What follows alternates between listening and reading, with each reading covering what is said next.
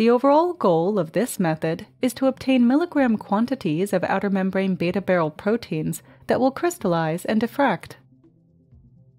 This method can help answer key questions in the membrane protein folding and transport field, such as how beta barrel proteins are inserted in cell membranes. The main advantage of this technique is that it is robust for beta barrel proteins. Generally, individuals new to this method will struggle because choice of detergents for purification, crystallization, and diffraction is challenging. Jeremy Guerin, a postdoc from Susan Buchanan's laboratory, will be demonstrating the procedure in addition to myself and colleagues in the lab. Begin this procedure with construction of a T7 expression vector containing the codon-optimized target outer membrane protein, or OMP gene, for in vivo expression to the membrane, as described in the text protocol.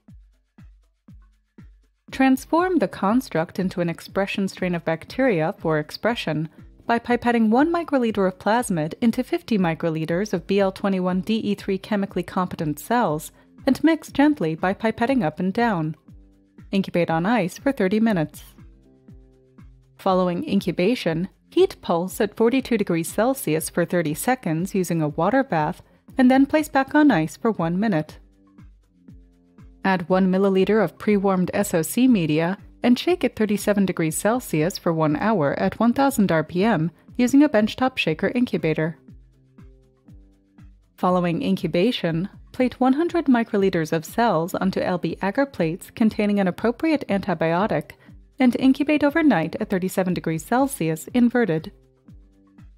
Next, perform small-scale expression tests by inoculating 5 milliliters of LB containing antibiotic culture